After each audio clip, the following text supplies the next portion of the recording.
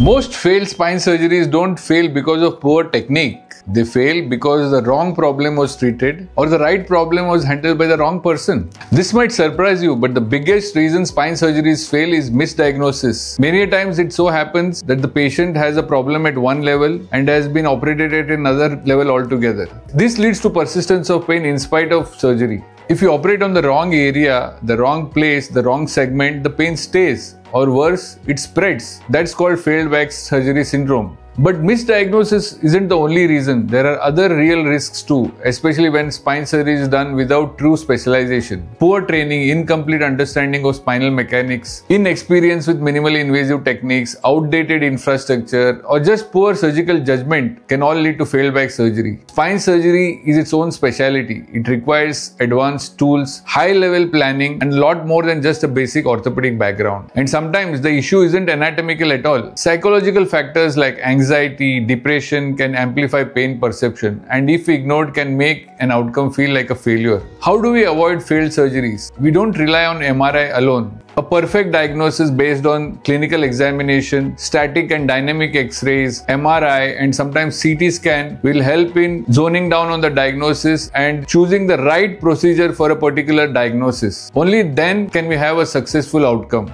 and we only operate when we are sure of the pain generator and that surgery is the best option. If someone you know had spine surgery and didn't get better, don't let them give up. They may not need another surgery. They may just need clarity from the right specialist. Please share this video with someone who may need to meet the right specialist.